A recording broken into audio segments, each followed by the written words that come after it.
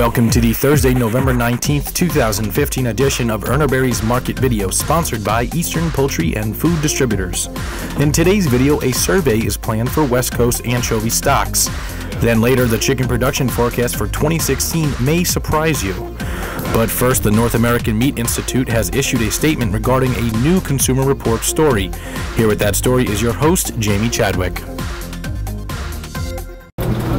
The North American Meat Institute released a statement in regards to a new Consumer Reports release on meat and antibiotic resistance, stating that its much promoted report provides no new information of value to consumers beyond the fact that there are a wide variety of safe choices available on the marketplace for consumers to select. NAMI said it was disappointing that Consumer Reports continues to perpetuate myths about, quote, superbugs on meat and poultry products, and that it is nearly impossible to draw conclusions on antibiotic resistance and its relationship to production methods because Consumer Reports does not provide any detailed data to support its assertions.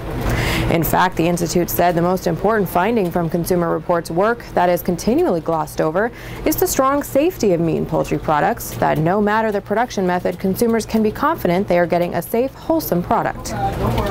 For more on this and other news from the center of the plate, please visit foodmarket.com.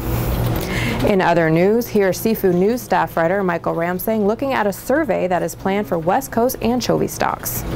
For the first time in 20 years, the Pacific Fishery Management Council will conduct its first assessment of northern anchovy stocks. Ongoing declines in the West Coast fishery prompted the council to go ahead with the assessment.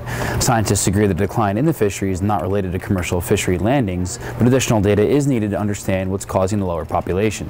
The Scientific and Statistical Committee recommends the council take a stepwise approach to the stock assessment, starting with a scientific workshop to determine the best method to assess anchovy fluctuations before the survey gets underway next summer. Read more about the West Coast Anchovy Survey at seafoodnews.com and head over to the Seafood tab in Comtell for more seafood market commentary and analysis. Thanks, Michael. The chicken production forecast for 2016 may be a surprise to all. Here with that story is poultry market reporter Terrence Wells. Earlier this week, the USDA released its broiler production forecast for the remainder of 2015 and 2016. And despite the constant pressure chicken prices have faced in recent months, it appears slaughter is still advancing.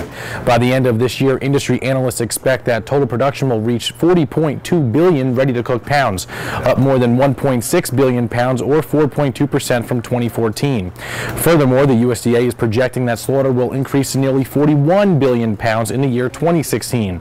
According to the USDA, chick placements have been trending lower, but average live weights have been higher on a year-over-year -year basis for the last 35 months.